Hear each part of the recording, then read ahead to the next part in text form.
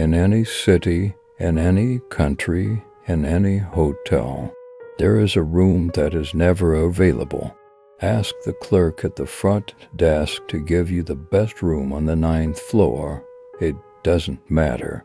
If the hotel is not nine stories tall, the clerk will be overcome with a look of fear, and they will rush to the back room.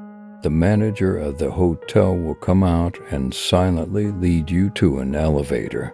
In the basement of the hotel, the elevator will have several buttons with unrecognizable symbols. Press any three buttons in quick succession, and the elevator will descend when the elevator stops, you will be in a clean and well lit hallway. Walk into the room at the end of the hallway. Inside the room will be three windows, one on each wall.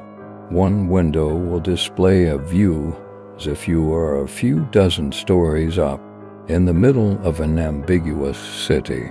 The second will display a view as if you were in the middle of a foggy forest. If you look through the third window, well, then the next fool to seek these objects will find nothing more of you than your blood on the walls and flora of this room. Spend three days in the room with no food or water. Never looking at the third window, you may leave the room and exit the hotel at any time but you will be plagued by dreams of unimaginable suffering for the remainder of your life should you remain within the room for three days.